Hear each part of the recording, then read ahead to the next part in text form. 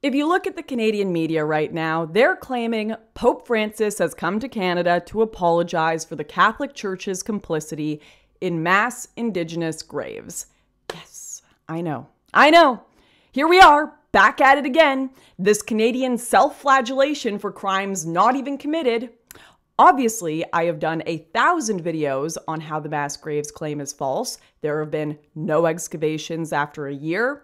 Most of the graves are just normal historic graveyards with both Indigenous and Europeans. Even the National Post have come out and said, okay, guys, this is clearly all fake.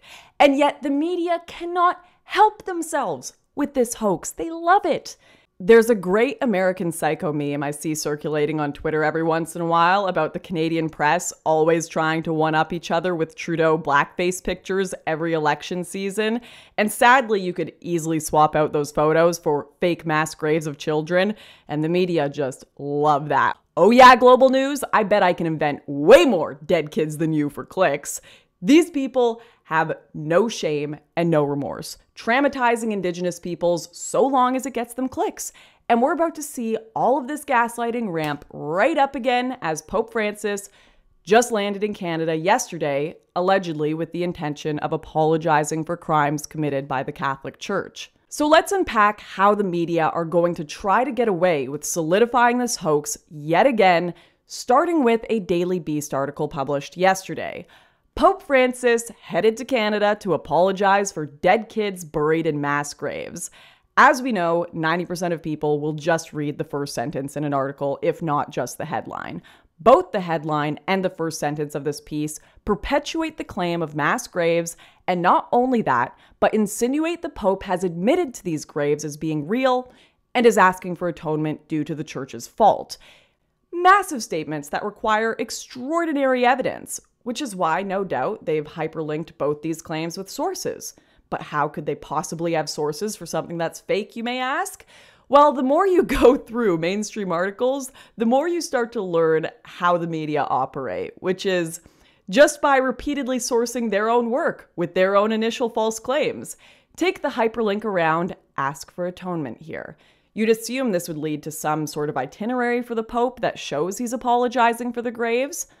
Nope, Instead, it leads to an article from earlier this year where Francis apologized for separate abuses by the Catholic Church in Canada, but said nothing of the graves.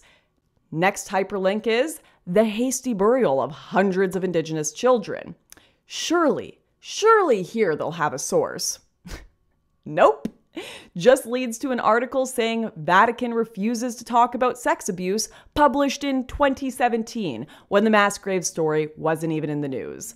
Next, they say in 2021, unmarked graves were discovered with the remains of 215 children in Kamloops. No source, because the only real sources would say there's been no bodies discovered. So not only does this author provide no sources for an extreme claim indicting the church in Canada of crimes against humanity, the sources that are provided here have absolutely nothing to do with the claims she's making and all her sources are other articles written by her. Opinion pieces at that. It's literally like that meme source? I made it up. If this Daily Beast writer were submitting a first year university assignment like this, she would fail. But unfortunately, she is not a first year student. She's the mainstream media with massive reach and cultural influence. So, of course, accuracy and care given around what she publishes will be less than that given to a grade 4 art class assignment. Most of you already know this reality, you understand how the media work, but I still think it's important to unpack just how the gaslighting is going to take place so that you can explain it to your friends and family who are the intended victims of this lie campaign, because it is going to be a wild one this week for Canada, Pope Francis, and the media. But before we jump into uh, talking about Francis' very first speech in Edmonton today, I wanted to give a massive thank you to the sponsor of this channel, Noble Gold. Gas is at $7 a gallon. A 10 year old Honda Civic will set you back $20,000, and rent is $2,000 a month. Welcome to 8.6% inflation, and it doesn't look like it's getting better anytime soon. So, what can you do? You can try trading stocks or buy mutual funds, but returns are sinking fast. You'd have to make at least 10% with charges just to break even. And if you're looking at retiring comfortably, this isn't even an option. But luckily, there are options like gold IRAs. Perhaps you haven't heard much about them though. That's why Noble Gold has a team of experts you can speak to right now that can guide you to financial safety again. And if you're quick, they're giving away an incredible American Eagle gold proof coin with every qualifying IRA or 401k rollover. You can't go wrong with Noble Gold. Call the team right now at 877 646 5347 or visit noblegoldinvestments.com. Okay, so I have no idea if the Pope is going to apologize for the hoax mass graves during his visit this week. He has not offered an apology yet, nor stated the Catholic Church had any part in the hoax mass graves.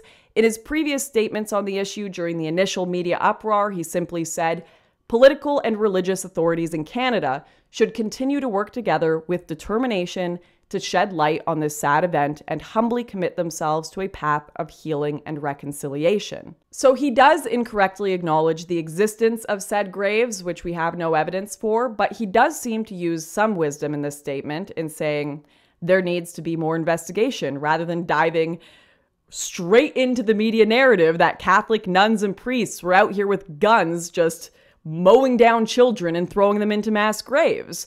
And just this morning, he completed his first address in Edmonton, where he expressed sorrow for children who had been harmed at residential schools, but did not once mention mass graves or murder by the church, expressing once again that an important part of this process will be to conduct a serious investigation into the facts of what took place in the past and to assist the survivors of residential schools to experience healing from the traumas they suffered.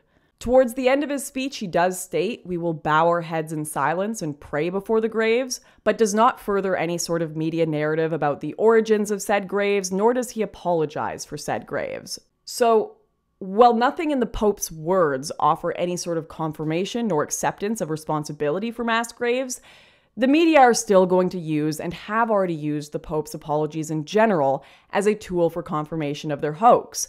In truth, if you look at the Pope's itinerary, his intentions, this first speech we just highlighted, everything he's saying is primarily about the treatment of the students at residential schools, not murder or burial, and it's about the dialogue he wants to have with Indigenous people in Canada for healing and about God. In fact, Francis is not actually visiting any of the primary sites of alleged mass graves in Canada on this visit. He's going to Edmonton to meet with Indigenous communities, Quebec to meet with our clown in chief, Nunavut to meet with former residential school students, and then straight back to Rome. And of course, Francis is going to go across Canada and apologize for abuses that occurred at residential schools. He and nearly every other member of the Catholic Church have been doing this for years.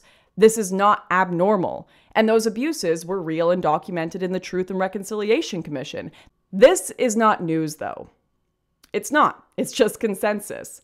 And the media vultures need news. They need something new. They need something shocking, which is why, despite not once mentioning mass graves, just in the past 20 minutes since he finished his speech, the media have already begun to spin this as an apology tour for a genocide that did not happen. A genocide that the Canadian government doesn't recognize, the church doesn't recognize, no one with any facts recognize.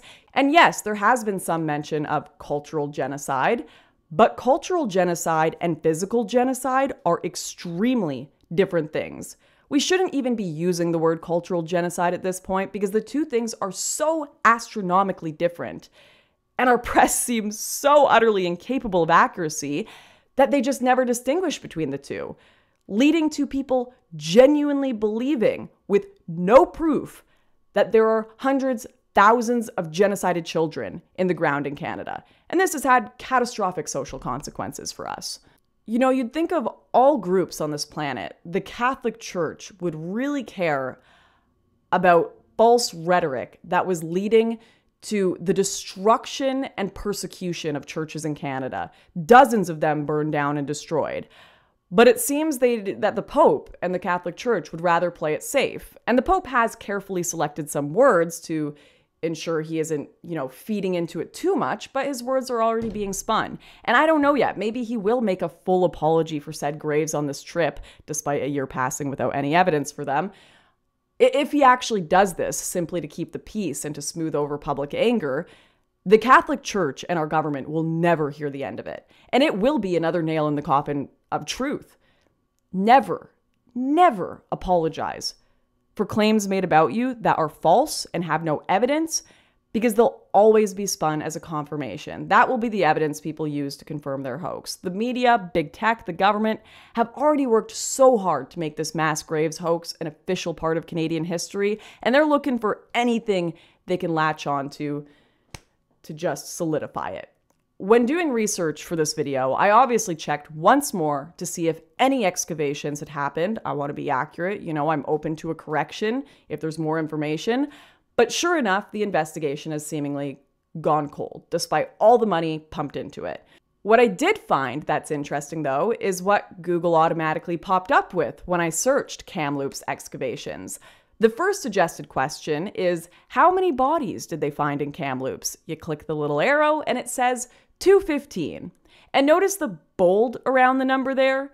The accurate answer to this question is none. They found no bodies. But genuinely, most people won't even read the text around here. They'll just mentally take note of that 215 number and have no concept of how important that word suspected is, which should, at the very least, if they're going to put this as the answer, be the bolded content in this result. Next question Why were they digging in Kamloops? They tell you it's because bones were found at the apple orchard. But the answer to this question is they were not digging in Kamloops at all. How did they find the unmarked graves? A war graves expert using ground penetrating radar? No, there were no graves found. None that we know about anyway. Next, how many unmarked graves have been found in Canada? 1800. The confirmed or suspected here is doing a lot of work, and so is the complete and utter lack of context, which would be that every mass grave that is confirmed in Canada is actually just a regular graveyard that had nothing to do with residential schools or any sort of criminal nefarious act. And that included Europeans, but we're not supposed to acknowledge that exists, right? Very inconvenient fact. But this is how they do it, right? This is how they rewrite history. They just curate the search results, make sure anyone who isn't looking into things too heavily will only find this, and it's set in stone, even though it never happened. And whether the Pope apologizes for these hoax graves or not, what we will almost certainly see for the next week and time immemorial is all these search results now saying in July 2022, the Pope officially apologized for the mass graves and crimes against Indigenous children. And that will be your bolded, curated Google answer. And further into the lie we go until people like me are so curated out of people's timelines that no one will ever see my critiques, questions, or legitimate debunks and Canada will forever be remembered as a criminal nation full of bodies in the ground that aren't even there. It's a wild, wild world we live in, and it's scary. Because even after outlets like the National Post have said, What the hell are you guys on about? There's no evidence for any of this, no other outlets seem to care. No politicians corrected the record, nothing. Last year I went to give a speech at UBC and they, they canceled me for sharing misinformation because I wanted to talk about how we didn't have evidence for these graves yet. It's been a year now with no evidence, and they went through the press dragging my name through the mud because I highlighted this, and they, they don't seem to care. It's like even if the correction is totally valid, they know they've got so much power over the narrative. They can just keep jamming it down our throats until we say, all right, fine, just whatever, throw it in the school textbooks, tell it to our kids. Can't be bothered. I don't want to have my name dragged through the mud like Lauren Southern. I don't want to have my reputation destroyed, lose my job. And everyone is like this. Everyone's just like this. I sure as hell know Pope Francis won't be correcting the record. He's playing the same game they all are. I just pray he doesn't further push the lie in the process of trying to, you know, stay under the radar and keep with the narrative. But I do appreciate you guys watching this. I hope it offered you some solace in a world of insanity. oh, I worry there's not much we can do about it sometimes. The media are going to have a wild one this week, but all we can do is push a little here and there for the truth. And, and that makes it all worthwhile. And I appreciate you guys following and supporting my work to do so. I will see you all next time.